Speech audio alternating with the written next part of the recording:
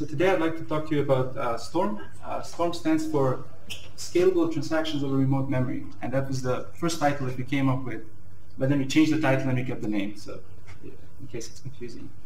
Uh, so this is joint work with uh, my colleagues from Purdue, Yizhou, and Yiying. Uh, then we have Aasheesh from Penn State, Michael and Michael and Marcos from Technion, uh, from VMware. We have Hagai, Boris, and Liran from uh, and then we have Ben from uh, from Technion. Now, because we have uh, Mellanox authors, so this paper must have to do with uh, something have to do with uh, RDMA, and yes, so this is a, this is an RDMA paper. Um, let's first cover the basics. So what is RDMA? Um, RDMA is a technology or a mechanism allowing processes within a data center to access directly access each other's memory across the network. And the way it works is that a, a process initiates a transfer, the network hardware executes that transfer, and then the process pulls for, asynchronously pulls for completions. And InfiniBand is the most commonly used uh, network stack that uh, enables RDMA. And this is a picture of a Mellanox um, network adapter that implements InfiniBand. Of course, there are cheaper alternatives to full-blown InfiniBand, so we could take InfiniBand transport and just layer it on top of IP and lossless Ethernet. That's what uh, we refer to as RoCE. Right? So what are the key benefits of RDMA? There are two big benefits. One is uh, the fact that we can access remote memory one-sidedly, right? meaning that only the initiator CPUs, CPU is involved. And second, we can do it from user space uh, with minimal instruction footprint. Um, and that's because uh, InfiniBand, again, is fully offloaded onto the network adapter. So one specific use case that has attracted a lot of attention from the systems community uh, is implementing remote data structures over RDMA. Think of any classical data structure like hash table, graph, tree, queue. How would you do it uh, over RDMA? And the reason why it's so interesting is because we need a couple of things. We need fine-grained access. We need high fan out in case uh, we want to, if in case our data structure spans multiple or many servers. Uh, data structures typically pointer linked, so we might have to chase pointers. We need transactional access uh, to our data structure. We need high throughput, and we, we need a, a good latency SLO.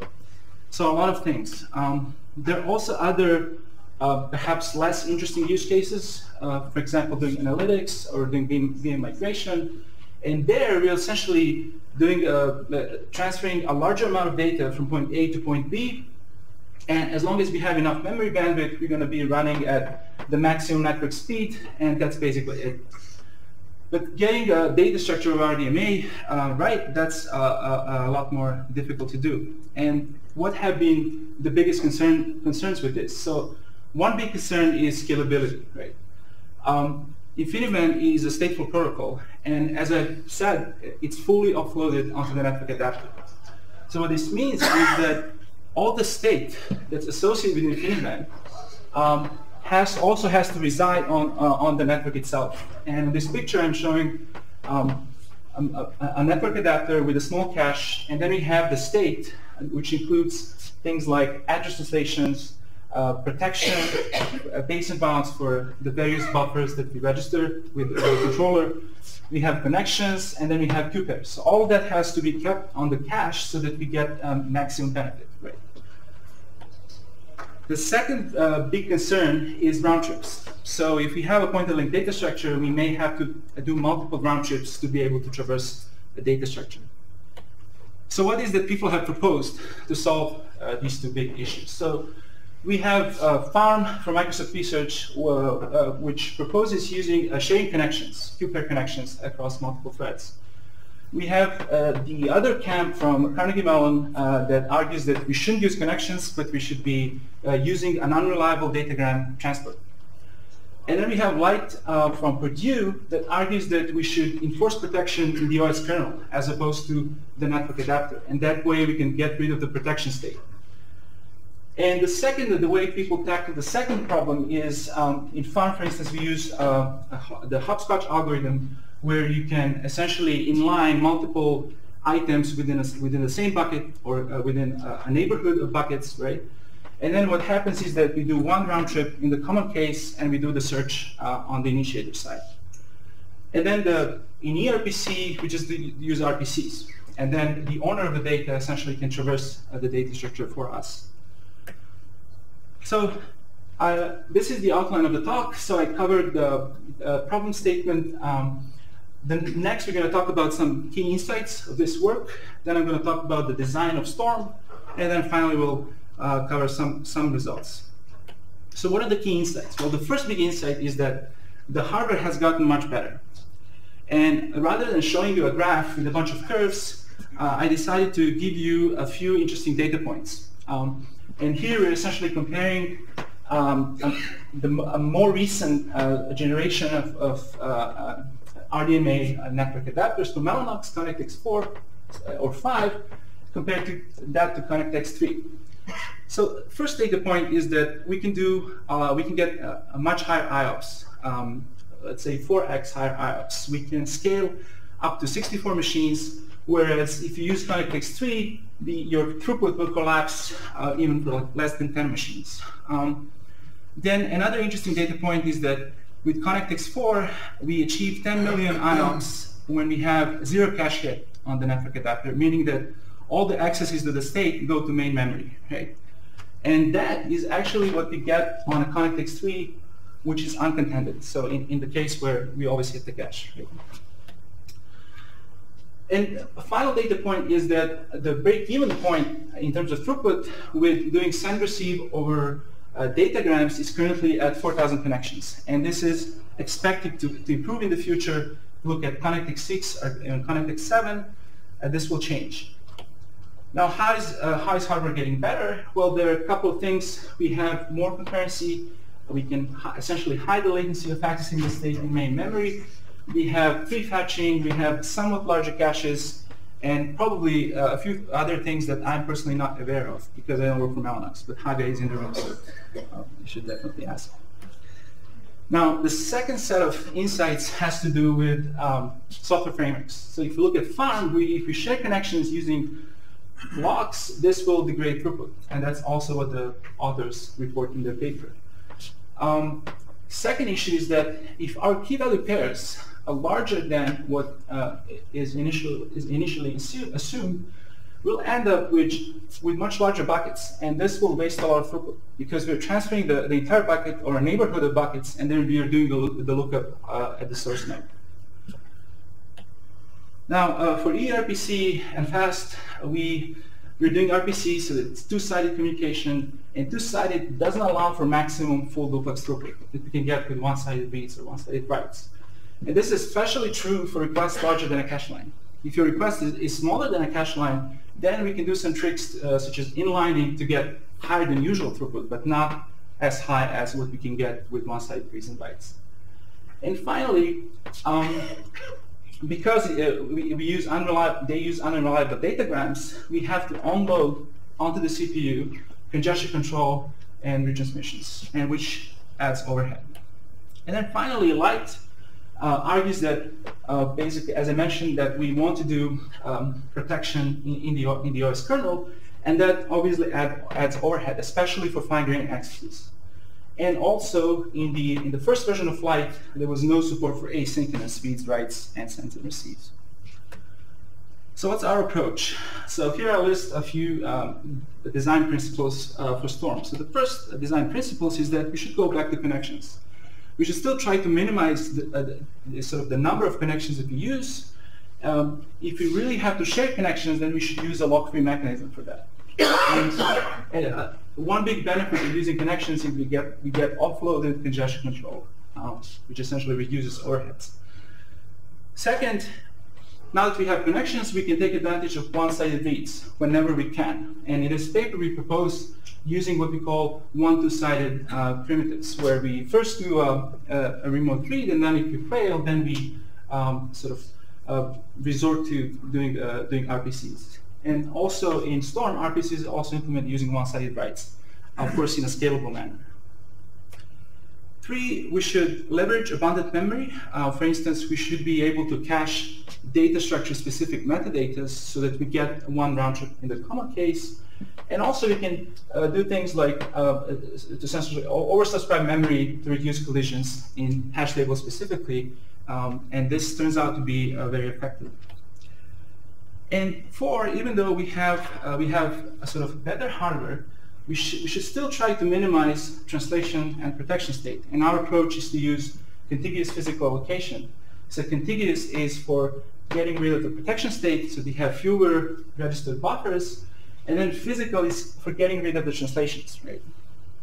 And finally, don't forget to deploy on new hardware. If you're doing research in RDMA or if you're using RDMA data centers, you should definitely buy the most recent hardware from Mellanox or any other company that uh, manufactures um, this kind of hardware.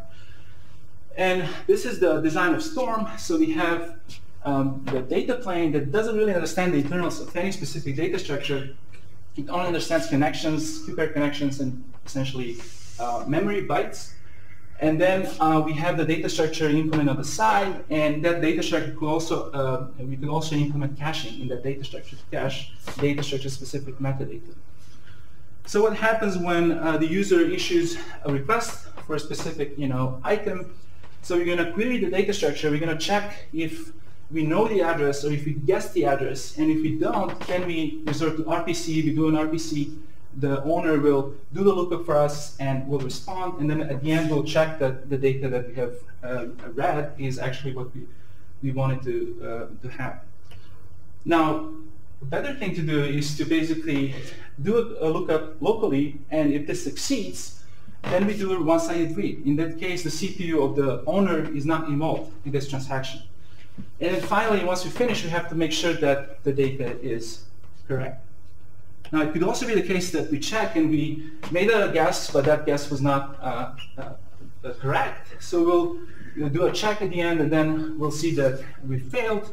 And in that case, we move on, we switch, we fail over to RPCs, we do an RPC, and then we check um, that the data that we have uh, collected is what, what, we were looking for. Uh, there's also support for transactions. Um, we could uh, run transactions uh, the, the, we get serializable transaction in this specific case. Uh, we do not have multi-versioning. Um, all right, so how is this achieved? If you remember, I talked about the data plane talking to the data structure. So this is done through uh, an interface of, that consists of three callbacks. So the first callback is the RPC handler that handles all two-sided communication. And you can do complex things such as acquiring blocks, executing uh, the, the commit phase, etc. Then we have two more callbacks where we, uh, at the beginning, we have to do a lookup to check if we know the address that we would like to read from. And then at the end, we have the, the final sort of this callback to check if the data is uh, correct. So Storm is implemented in 30,000 lines of C++ without including um, MICA modifications. So MICA is an open source um, uh, hash table that we used in this project and deployed Storm on an HPC cluster with 32 Dell machines with high-speed InfiniBand network, 100 gigabits per second. We have Mellanox ConnectX 4, which, as I mentioned, is similar to ConnectX 5. And we're able to emulate 3 to 4x larger clusters uh, using uh, 32 machines. And then in terms of benchmarks, we used uh, the, all the typical benchmarks that uh, people use for this kind of work. So we have key-value the key-value micro-benchmark. We can run transactions in a set of objects. And then we have TATP, uh, which is used for more complex transactions. And then finally, to cover some of the results. So first, um, we compare to FaRM, eRPC, and LITE. So FaRM, we emulate using Storm, and we um, make one modifications. We do not use locks to share connections because it's not, it wouldn't be fair to use connections on uh, more recent hardware. eRPC we test with and without active congestion control, just to emphasize the overheads of doing congestion control in software. And then uh, in LITE, we modified LITE to do asynchronous, to allow for asynchronous reads and writes.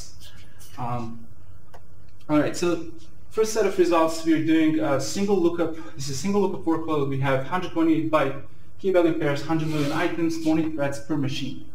And here we're showing the throughput as a function of the number of machines. So we go from 4 to 32, and you see that, and, and in this specific case, we're caching uh, data structure-specific uh, metadata. And this allows us to get a constant of 40 million uh, operations per second.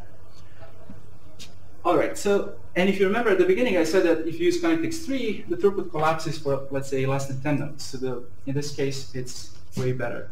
Um, now we could use the memory that we use for caching to just oversubscribe uh, the memory for the hash table and then get fewer collisions. In that case, we get somewhat lower throughput, but it's still pretty good. And the reason why it's lower is because now we actually have to do one-to-side operations. So if we have a collision, we have to uh, resort to RPCs. The reason why the throughput goes up and down is because the number of collisions varies as we scale from 4 to 32. Okay, now if we zoom in uh, for, uh, for, the first 16 nodes and we compare Storm oversubscribed to eRPC uh, FaRM and LITE. You can see that Storm is by far the best.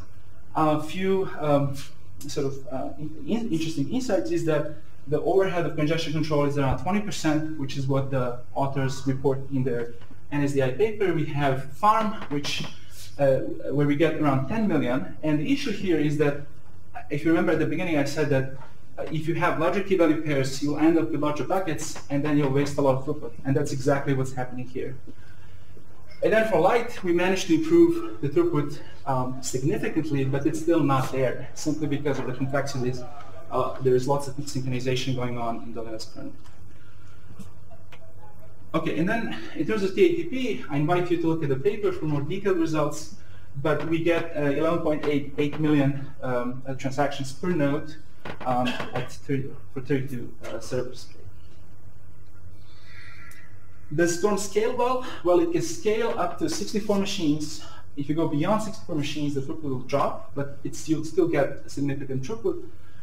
Um, now, if you are okay reducing the number of threads by 2x, if you use 10 threads per machine, you, can see that you, you, can see that you can go beyond 64 machines. So you can go up to 128, and it will be fine. Um, if you really need more than 10 threads, then you should think about lock-free user sharing. All right, and just to conclude, um, so in this paper, we argue that people should get um, hardware upgrade. You should buy uh, the most recent hardware from uh, an RDMA vendor. And because more scalable hardware is available, and we should take advantage of connections and doing one-sided, using one-sided primitives. Um, also, we think that we should uh, leverage abundant memory to use caching and oversubscription so that we can enforce one-sided reads in the common case. And finally, a few uh, ongoing research threads that we're working on. So we had, uh, uh, th there was a paper at HotOS where we explored how to design far memory data structures. You probably wonder, okay, we showed, we have the hash table, what about other data structures? So this paper covers that. Um, we're also thinking about a memory allocator that will allow us to repurpose unused memory that we use uh, when oversubscribing. Um, and then also lock-free mechanisms for QPEG sharing. This, this is another research thread. And um, how much do I have? Two minutes, right? So I have uh, maybe just one more slide to cover. So this is um, a, a, more radical, sort of more intrusive approach to solving this issue. Right? Uh, Oracle Sonoma is a sort of a proposal from Oracle Hot Chips 2015, where what you can do, you can fold the network controller into the CPU, into the caches, cache hierarchy, and that will allow you to scale with the number of queue pairs to scale the throughput much better. Right? Here you hit the capacity limit, right? So this is, if you remember for ConnectX, ConnectX uh, 4 and 5, the capacity peak is around 10 million uh, uh, requests per second. And this is a PCIe-based NIC, right? Where the throughput, probably ConnectX 3, where the throughput collapses from you know much smaller number of pairs. So this is a more intrusive approach, uh, and I, I, think it's uh, it's very effective. So. Uh, I'm open for questions. Thank you. What was, uh, what was the type of connection you used? Was it RC? Yeah, it was RC, yeah. And uh, uh, have you shared QPs across pairs or not? No, we did not share QPs. If you think about, um, so here, there's no sharing, no locks. Here you're just using 20 threads and you can see the throughput going down because you know, there are too many QPs. And uh, when you're talking about threads yeah. Uh, and, uh, and the clustering, uh, and the what? And, and the cluster of uh, nodes. Okay. So each given thread from uh, from one node had to communicate with all other threads, or, or just no. with one destination. So, so that's one trick that you can use to reduce the number of connections, and that's what other groups have also used, which is to only communicate with the sibling thread, right? if you have a thread with ID zero, that thread will talk to another thread with the same ID on all the other nodes. So you don't do all to all. So that's one way to sort of reduce the number of queue pairs. If you want to go further than that, then you need sharing. So that's something that we have, didn't use, and we we're exploring uh, what free queue pair sharing. So Okay, so have you Maybe, maybe we should implementation? take it also. yeah, wait, maybe you continue offline. I think so we're out of time, so we'll move uh, to the next uh, talk. Uh, take a second.